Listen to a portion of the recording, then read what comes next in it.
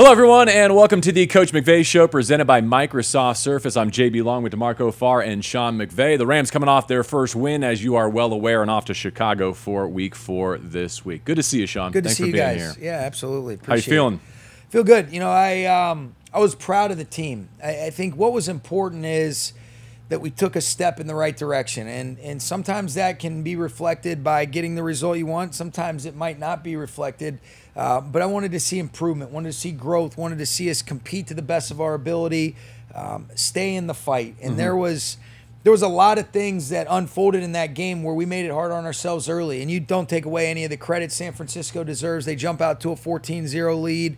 Um, they had some things that that they did that you know you give them a ton of credit for, but our guys kept battling, and I thought there was great examples. I thought special teams came up huge um, to be able to do some things that that allowed that, that led to really our first scoring drive offensively. Got some stops at the right times defensively. Um, and then we were able to create enough and sustain some drives and get some momentum that ended up leading to the outcome that we wanted. But there was a lot of grit, there was a lot of toughness, there was a lot of fight, um, and there was definitely some improvement that I saw. And I was I was really proud of the group, um, and it was a fun day for them. Going from one week, I mean, you get the W. That's all that matters. You, you won. But to see what you said from going from one week, I, we're going to challenge each other. We're, I need to see the best out of you going to this week, and then you see what you did on at in SoFi this weekend. It's got to make you proud, like you said. It, it did, and and it wasn't perfect either. You know, there's a lot of things that we can improve upon, but I think you know you emphasize everything, you emphasize nothing, right? So there was a handful of things that we did emphasize that we saw. It helped give us an opportunity to try to come away with the result that you're hunting up, and and now it's like, okay, how do we continue to do some of those things, and now let's improve some other things, and let's continue to build. Um, we were talking about it before we started. You know, I'm I'm grateful that we came out healthy. Um, that hasn't been the case in the first couple weeks. It's been kind of unprecedented. Nonetheless, the season goes on, and so how now do we establish some rapport with the guys that are playing? How can we put the work in that allows for that growth, for that improvement, um, that will lead to a process that, that we talk about committing to the daily improvement um, and the standards that we have and, and the rapport that's important, especially at those specific positions. And there's a lot of things that um, that we can improve upon, but there was a lot of cool things that our guys did, and uh, and I was happy and, and I was proud of them. We fully appreciate that you play 17 nameless, faceless opponents, right? Yeah. And each is only worth one. But rivalries also matter in this sport. It's what makes it special. Yeah. Can you acknowledge that for our city, our fan base, like that? That was really worth something. No, it was fun, and and really, you know, that that's a team. I don't know rivalry. It's a team that you hold in high regard because their body of work over the last handful of years has merited that. They're, they're they're a really well coached team. I, I I hold Kyle in the highest of regards. You guys know that they have great personnel. Uh, John Lynch and Kyle do a great job of acquiring, you know, guys that are very similar to the things that we look for in players.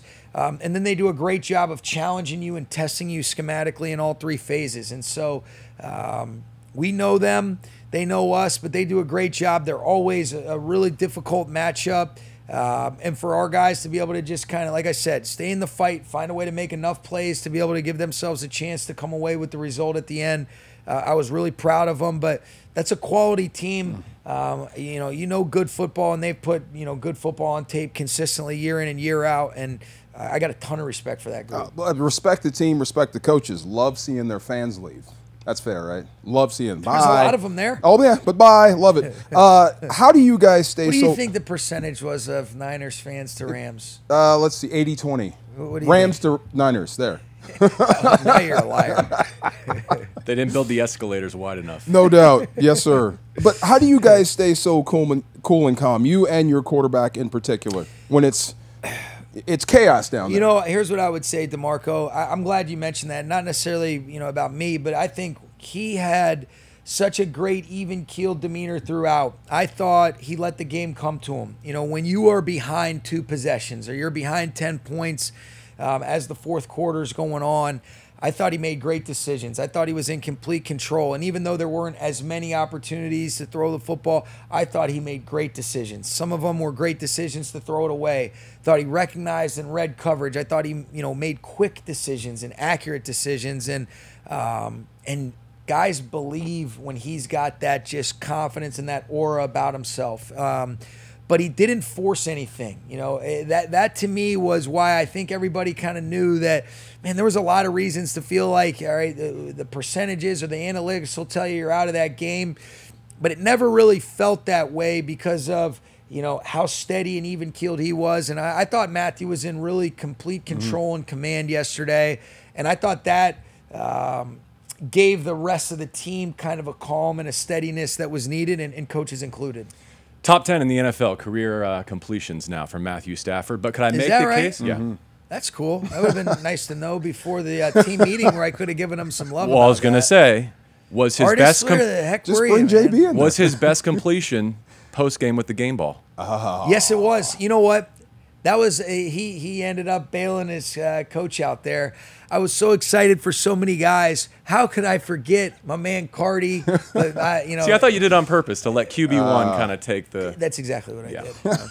did. Very good. Uh, let's go special teams then, because yeah. we're right there. Yeah. Uh, best Rams special teams game, and, and who knows how long. You want to take us inside the fake punt execution first? Because yeah, I know there's a I lot of guys it was great. to compliment You know, there. I think what was big, it was a third down and 12. Tyler Johnson gets six yards. It's a 14 nothing game, JB. And this is something that our guys had worked on. Um, there was a possibility that the look could present itself, and thought excellent snap by Alex Ward. And then what a great job when you really look at it. You know, for, I don't know what kind of shots you guys have of it, but you know, for it to be a great snap to Ronnie, and then you look at the sellout by Nico Kalinic. He secures Conley, and then to be able to sell out on Odom on the second level that allows Ronnie to be able to put his foot in the ground. This is just a great job. I mean, that layout right there, and now he levels it off inside of him. I think we got six and a half yards. We needed six. Um, and that extended the drive, and that led to Kyren Williams' touchdown reception mm-hmm. from 15 yards out. But um, true credit to our special teams as a whole. I thought Chase Blackburn, Scott Frost did a great job. This is a great example of practice performance equal in game reality. We had worked this one. Mm-hmm. Um, they had an ownership and an understanding of what the intent was, um, and they executed it in a in a key moment that we had to have. You know, we, there wasn't a lot of momentum.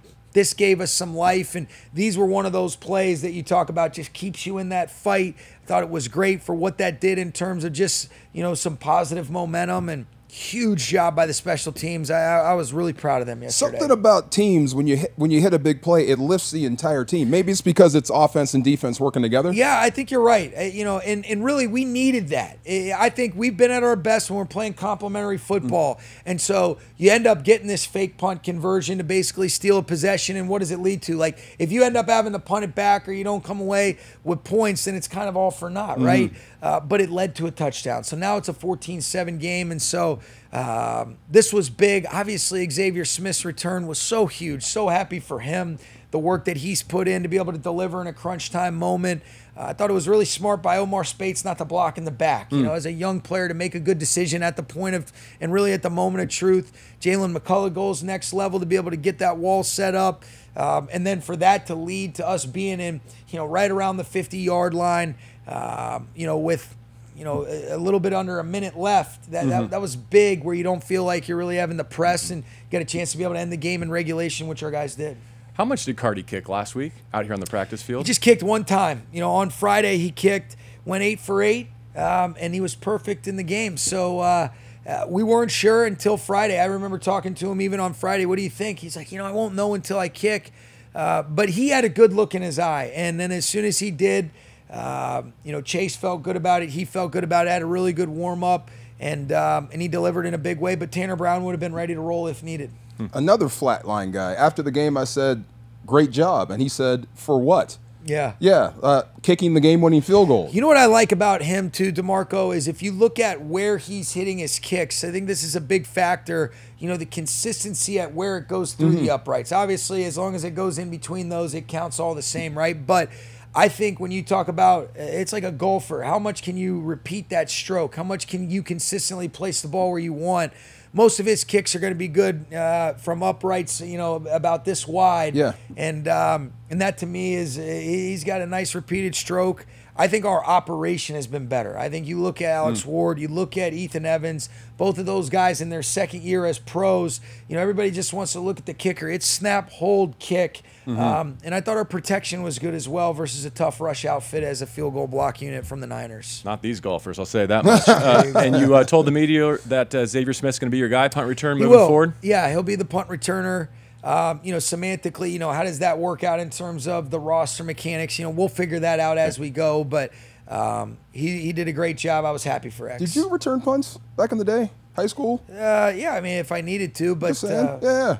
Earn some extra reps. You never know. Big you one. Get There you you another Well, one. while we're on your Yeah, athletic days, yeah. how long would you be on injured reserve if you tried what Kyren did, somersaulting into the end zone yesterday? I would have stuck the landing. I would have stuck the landing right there. On. What do you mean? Come on, man! I'm, I'm in great He shape. scored. it was awesome. No, hey, Kyren, I'll tell you what, that was a cool play Yeah. because Warner has played as good as you know. He's always been a, as good as it gets at the position. I think he's playing as well as he's ever played. Uh, for Matthew to be able to kind of hold him based on what coverage they were in when he's kind of visual. Uh, for Kyren to be able to win inside on Campbell and then to be able to have the presence to, you know, front pad throw before Warner could get over there in a quarters contour and, and then to be able to finish. It was swaggy. I think Kyren was pissed he didn't stick the landing, but he did a great job. He certainly came to life in the red area uh, like he seemingly always does. He don't back down, man. No, I he's tough as hell. I, mean, love that he flipped over that one safety that they were going at it, but he won't back down from that sort of game. No, he's he's so tough, you know, and I think he um, he had a bunch of big time plays. Mm-hmm. He's a stud. Love his energy. I thought he was great yesterday. Tied your guy Marshall Faulk for a uh, franchise record six straight games with a rushing touchdown, 16 rushing scores in the last 15 games. Is for, that right? Uh, That's Kyren cool. Williams. Good for yeah. him. Any thought uh, to go for two after his third? Uh, if we had been, if it had been less time on the clock, then then you would have thought about it. But didn't want them to be in four downs. Um, if we had ended up converting that, um, but if it was like you know with like 15 seconds left, then the answer is probably yes. but based on the time that we scored with, um, that wasn't something that we were thinking. We've talked a lot about Jordan Whittington stepping into some vacant cleats, uh, Yeah. and they're big ones. But how about what he did competing on your run surface yesterday, including on at least one of those Kyren touchdowns? Yeah, it was big. You know, he, he's got a great way about himself. He's physical. I mean, he had some key blocks at the point of attack. Caught a you know big in breaking route. Obviously, caught the screen. Caught a, you know another flat pass where. Um, he just does a good job. You know, he's he's got a great game day demeanor, and you could feel that from the very first preseason game. But he is physical at the point of attack. He likes that. You could see he got so excited for Kyren after he ends up springing that block that he makes on Brown um, when they were in a man coverage and we were in a one by three, and he kind of motions across right before the snap. Um, he's a stud. I, I really like him. He's he's all about the right kind of stuff. He's one of our kind of guys. I I'm a Tutu fan. I have to tell you that. Yeah. I, I don't know why. Uh, maybe it's because he's under. I, maybe it's because he's undersized. But I just love to watch this dude play, and it seems like when he sets those routes up, he can run by just about anybody. Yeah, he's got an effort, effortless gait too. I mean, I think when you watch him when he makes the deep catch um, on one of the premier players in this league, he's kind of got an effortless gait where it doesn't look like he's working as hard as he is, but he's covering ground because he's got that stride length. His upper body stays quiet. Thought that was a great track that he had, and then he had a couple good, you know, big time third down conversions for us as well. Let's take a closer look at one of them. Second Yeah. quarter, third and eight from your own 25. The way you got him a free release here was awesome. Yeah, this is cool. He's coming in, in a little short motion from outside in. Um, they, were- they were in a man coverage right here. I thought he did a great job of straightening Yidam up just a little bit. And then as he broke, you know, if you go back even just a tick, you know, you can really see right before, you know, unbelievable job by Matthew to be able to speed it up, but to be able to get vertical, to put his foot in the ground, and then to make this catch away from your frame. Um, really impressive. You know, this might have been his second best catch on the third down conversions that he had because the one on the shallow was unbelievable where he basically caught it a couple times. But, you know, Matthews' ability to speed this up, this is a really cool angle where you see as soon as Matthews' back foot hits, he ends up throwing this without a hitch, changes his arm slot, um, perfect location. It's great that Tutu has his mouthpiece in too, right? You know, so that uh, you know he's, he's really uh, you know that's really doing a lot for him. But uh, great catch, big conversion right there. This was on the same drive that we ended up having the fake punt, but at least got us some space, got an explosive Tutu had a big day, um, and this was this was an awesome play. Really cool connection by Ian Matthew. Great job by Ronnie Rivers stepping up on Fred Warner in the B gap too on the left side right there. I've heard you mention this previously, but it's it's borne out in the statistics. In fact, there's a site NFLpenalties.com that keeps track of like the hidden PI yardage. Tutu was tops in the league in a per game average last year in PI. Uh, tied for second in total penalty yards generated last year, and he picks up right where he left Is that off. right? He's in like Calvin Ridley company. No kidding. Yeah. What Bring stat him is into your meeting. like PI yards, Yeah. either like on a per game or a per target Sure. basis. Like even though Tutu's usage rate hasn't been that high, Yeah. his impact in those hidden areas has been really That's consequential. big. Yeah, and that's the thing. Like that's why I don't get too caught up in stats, right? Mm-hmm. Because you look at whether it's the 48 yard PI. Well, what does that happen for us in terms of if our job is to move the ball and score points? I, Mm-hmm. I don't care what yardage, all that stuff says, but that's a 48 yard gain for our offense. That might not go down in the, the, the stats and the total yards, but. Uh, and I know he probably would like that to be, you know, on his stats, but like we recognize that stuff in a team meeting, Sure. because that's super important. Like, hey, I, hey, that's a 48 yard gain for our offense. It might not go down officially, but last time I checked, where that ball's placed is 48 yards further than where it was on the previous snap. Same thing with Colby Parkinson's PI that he draws on De'Vondre Campbell. Um, we had a lot of hidden yardage, you know, that might be hidden on the stats. They weren't in terms of where it uh, allowed us to matriculate the ball down the field on some of those scoring drives, D'Marco. Close with Parkinson. Uh, he is a matchup problem with his size. Yeah, he does a good job. I think he's a complete tight end too. Uh, Nick Caley, man, he- if you guys go back and watch, you see somebody having fun that was excited when he ended up uh, drawing that PI right there. That guy loves football. He gets so juiced for his guys and really for our team in general. But um, Colby had a good day, had some major contributions, big third down conversion that he had, and um, was really productive in the run game as well. It's not just as simple as putting a second tight end on the field, right? You made it look easy, but it's more than that. Well, Hunter Long did a great job. You know, he played a handful of snaps. Um, you know, Caley, uh, our coaches, you know, Mike LaFleur, Ryan Wendell, all those guys really, you know, they did a great job, you know, having some different variety uh, based on our circumstances. And, and our job is to ma- maximize the, the players that we have. I thought it was really cool to be able to see some guys step up um, and deliver. And, and now let's see if we can really build on it like we've talked about. See, I'm still thinking of that that whip. See, I get stuck on offense. Defense. Uh, I thought Byron Young took another step forward. I Run did and too. pass. Yeah. he he really made his impact felt. I thought he was productive in the run. Um, obviously, even as a zone dropper, you know, where he makes that play when we rush three early on in the game on Jennings on kind of that delayed slant that Purdy checked it down to him. It was a great job, you know, breaking visual on the ball, getting his head out of the tackle. Um, and then at the end of the half, to prevent them from getting any points on the sack fumble, that was huge. Uh, he was a game ball recipient on the defensive side. Uh, Joe Coniglio does a really good job with that group. BY's so conscientious and he's so tough, um, so coachable. And I thought a lot of the things that had been emphasized in terms of, all right, here's where we take a step forward. Uh, that practice preparation, that practice performance led to game reality for him yesterday. Uh, I was happy for And him. that sack was nasty. Why don't nice. we re- replay that? See, He did a great job. I mean, he won with his hands, Yeah. and then to be able to close and then attack the football and then fist to get the recovery. Pretty good illustration for you there. there huh? you go. See, like. You understand like position value and restricted resources in this league. What if you have not one but two mm. great edge rushers on rookie deals? What can that mean for the Rams right now, but also in this window of time? Yeah, it's big. I mean, especially when you look at it, and you mentioned it, JB. You know, where are these high value positions that usually you have to use high draft capital, or if you acquire them through trades or free agency, these guys are making a bunch of money. And so, how do you continuously build your team up?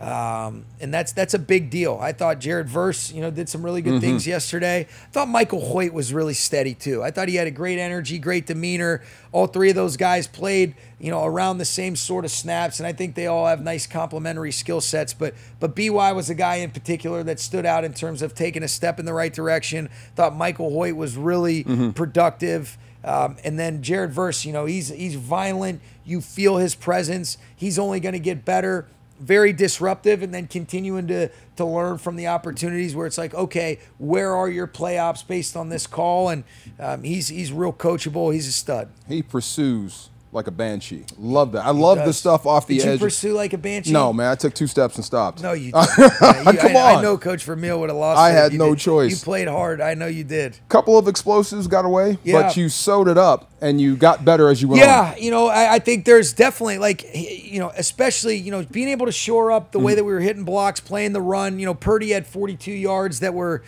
you know, a great job by him. But Mm-hmm. we've got to corral these running quarterbacks a little bit better. Yeah, not not a little, a lot better.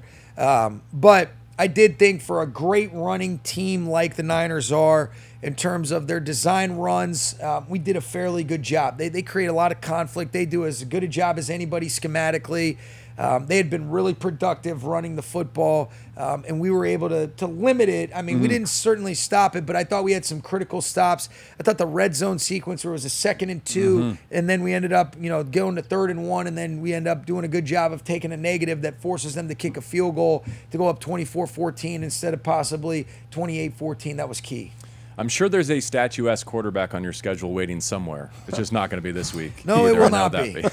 no, this guy's uh, uh, he's a problem. He was he was a top pick for a reason. More on him in just a second, but can I ask, like, what is a fair evaluation of where your secondary is, and particularly Trey White, who I've heard you say like he's not someone that you are willing to bet against. Yeah, I thought he did a good job. You know, he had a big time third and four stop for us.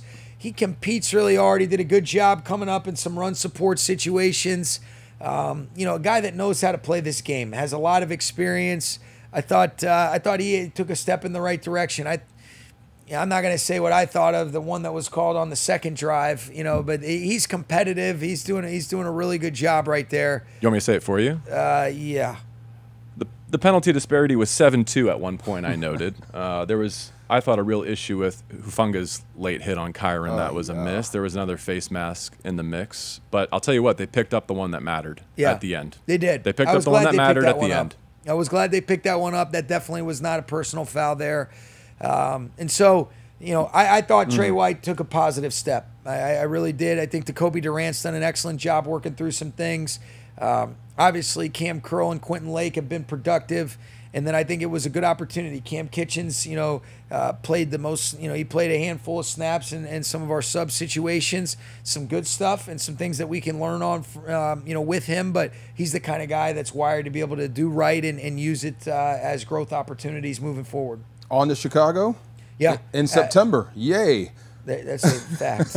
yeah, you're right about that. I, I, we've been there late in the years, but this is um, it's always Chicago's a great football city. Be a great opportunity. I want to see us have a great week of preparation, and uh, I'll look forward to getting started on that once we finish up here. But you know their personnel in terms of Shane's there, Thomas Brown is there, right? So some familiar faces on their sideline. Yeah, you know, and and really good coaches that were outstanding contributors, you know, to our group here.